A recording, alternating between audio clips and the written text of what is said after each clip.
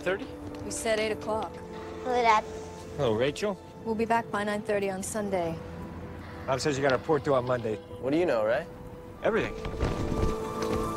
Rachel, want to see something cool? He hid right behind our house. Lightning doesn't strike twice.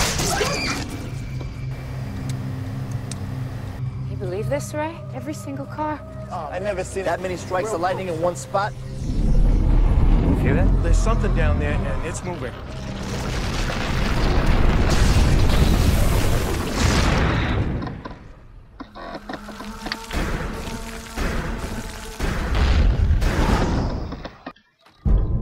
We're leaving this house in 60 seconds. Dad, suitcase. Dad, it's really scary. Bring it to me, okay? Why? I... Just do it.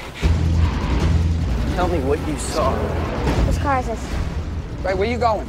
What are you doing? Get in, Manny. Get out of the truck. I'm not kidding, Ray. Get in, Manny, or you're gonna die.